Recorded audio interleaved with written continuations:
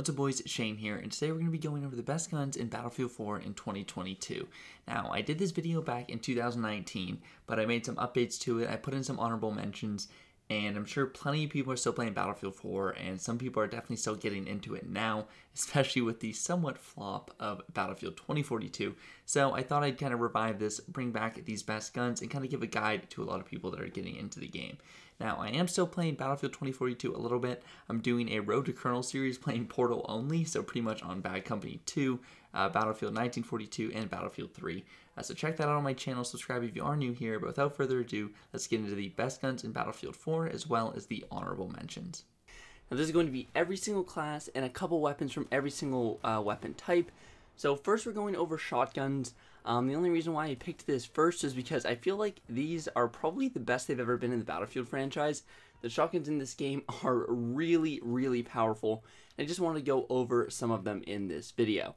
Um, so yeah, we're going to be going over every weapon class. I'm just going to spend uh, like 30-ish, 40-ish seconds on every single weapon. And obviously, this is my opinion. There's still plenty of good guns in this game, but you definitely won't go wrong using these weapons if you decide to use them.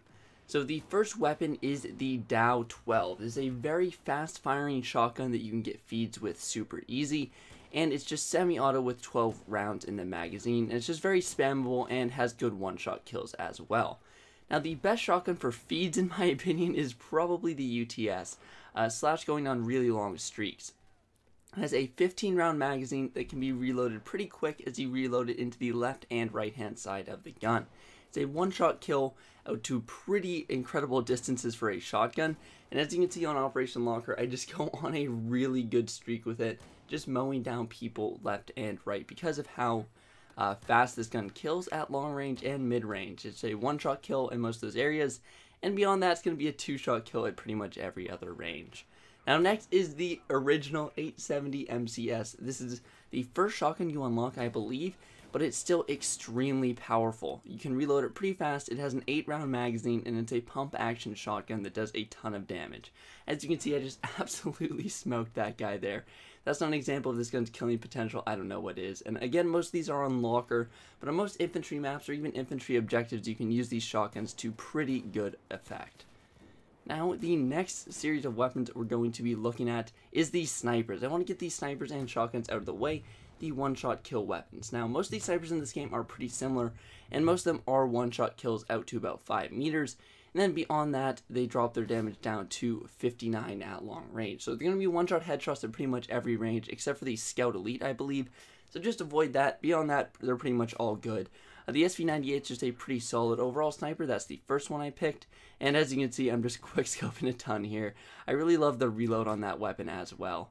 Um, but next you got the M40A5, which is probably the best close quarters sniper. It doesn't have the fastest bullet travel speed, but you can quick scope some guys really well with this weapon.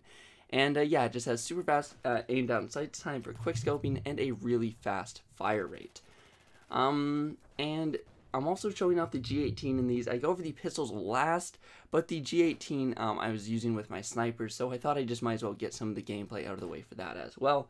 And the G18 is a pretty good pistol, just full auto pistol, super fast fire rate, and a very fast time to kill. Now, the next sniper rifle we're going to be going over is the M98B. Now, this is probably the best long range sniper in my opinion. It has a very fast bullet velocity, um, but the reload speed is not fast, or the fire rate overall. But you can still do some stuff in close quarters. As you can see, I quickscope this guy off the head glitch.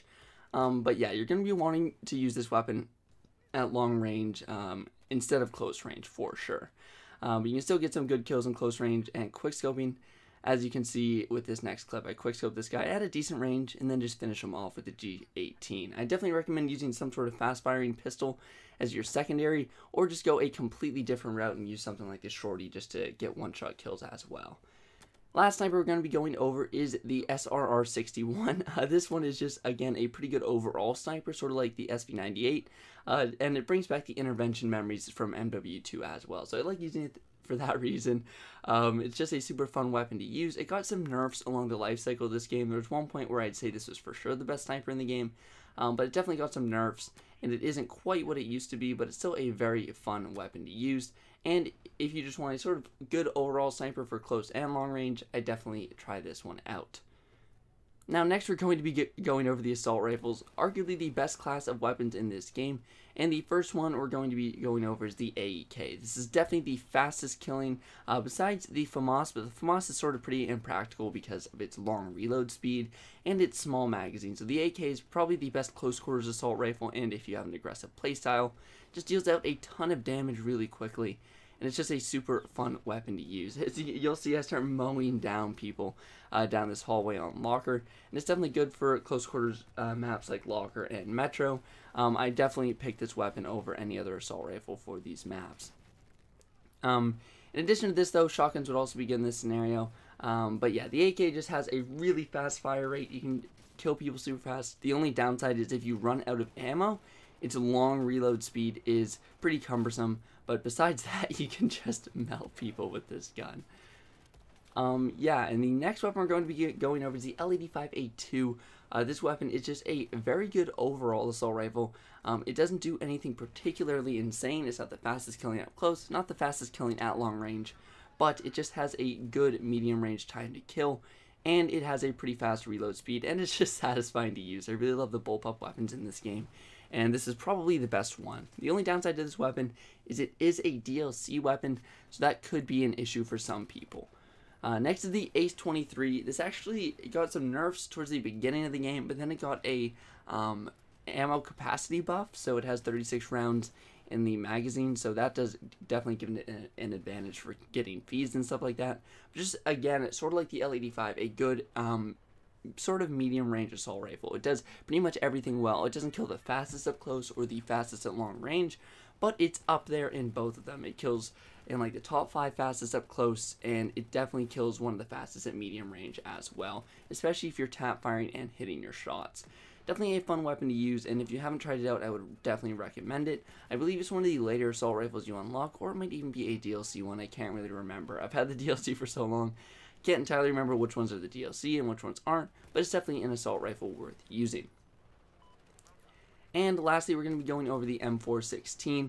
I would also recommend the AR-160 for long range, but I just didn't feel like putting it in here. That's more of an honorable mention if you're wanting to play a very long range role with the assault rifle. I don't use it much. I'm more of a sniper if you're just going to be playing like long range like that, or even uh, a DMR.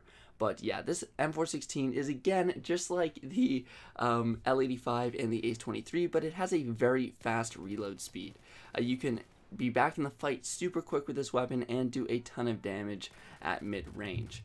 Now next we're going to be go going over the PDWs in this game. Uh, these weapons are not too good and they're exclusive to the engineer class like how the assault rifles are exclusive to the uh, medic slash assault class. But the first one is the SR2. It has a pretty good time to kill. I believe it's one of the only SMGs that's either a 4 or 5 shot kill. I can't remember which one, but it's one of the highest damage SMGs in, in the game. And it's definitely fun to use besides its long-ish reload time.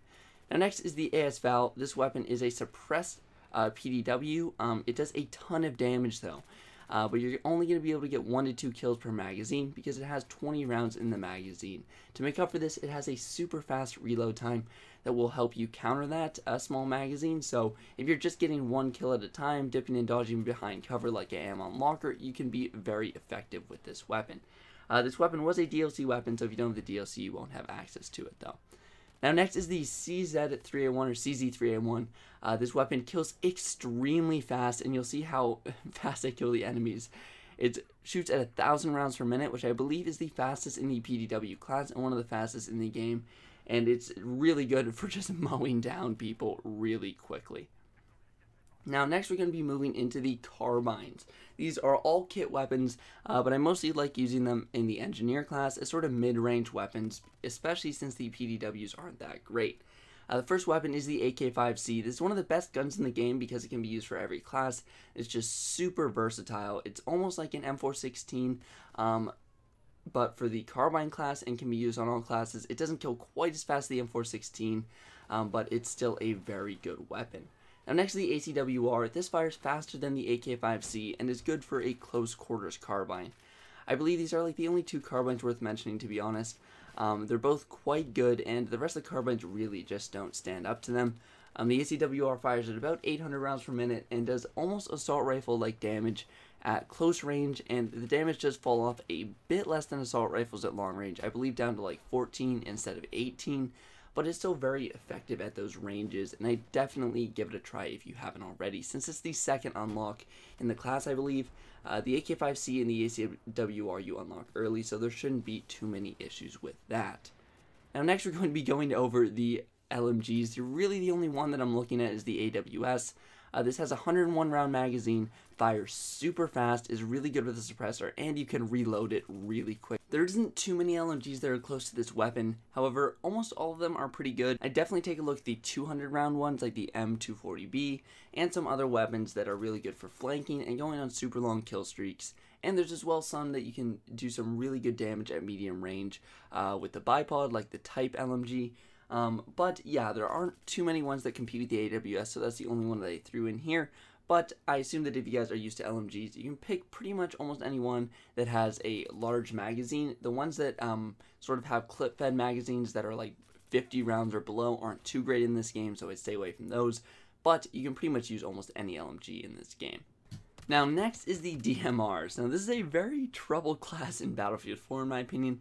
There aren't too many good ones. There are three shot kill at every range, meaning that they don't kill really fast enough up close to do any damage.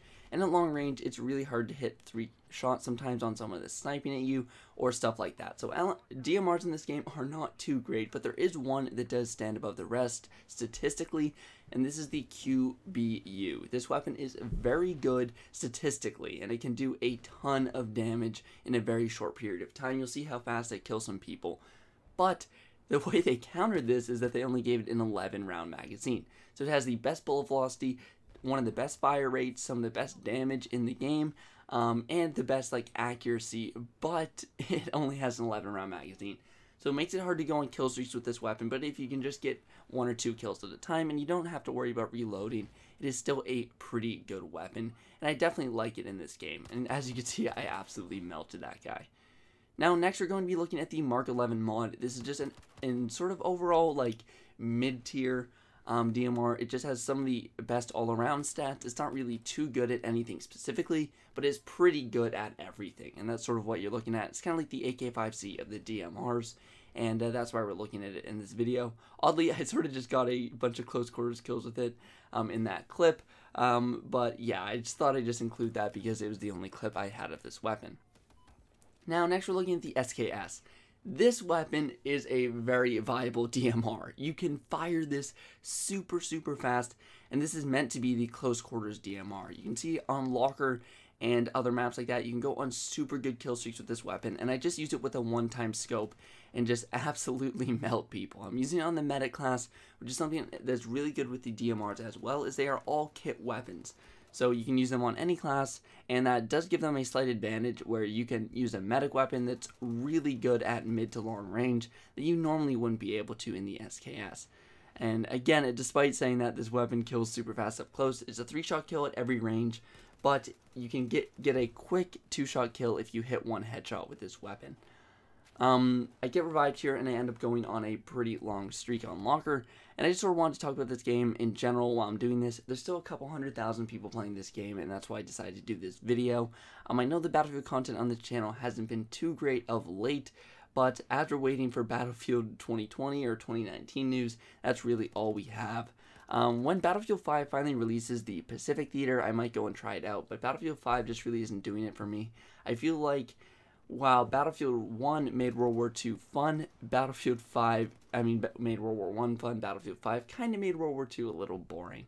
But we'll get back into this video. I'm, As you can see, I'm switching to the Shorty 12G, and this is sort of the transition into the secondaries. This weapon is really good, and it's a one-shot kill shotgun. It only has three bullets in the magazine, but if you just need to switch to a secondary and get a quick kill, it is really good. Next pistol we're going over is the M9. It's probably the best semi-auto pistol with a large magazine. You can use your trigger finger really fast on it and get a decent amount of kills. Um, and yeah, although I would say I definitely don't recommend the single fire ones or at least the single fire weapons that are like three or four shot kills on this game.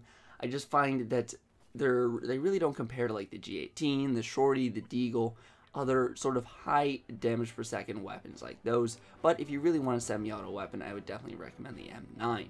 Now next is the Deagle. This is a Dragon's Teeth DLC weapon, so if you don't have Dragon's Teeth, you won't be able to use it.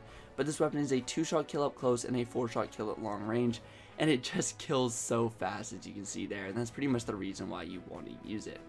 And lastly, we're going to be going over the 93R. That's pretty much it for this video, guys. This weapon kills super fast, and that's all I really got to say about it. It's a semi-auto, or sorry, a burst fire weapon that shoots a 2-burst and kills very fast. So now, these aren't necessarily the best guns for every category, but here are some honorable mentions for some solid weapon choices in Battlefield 4 is the MPX. I really love this weapon. It's a pretty fast fire rate, uh, although not too fast.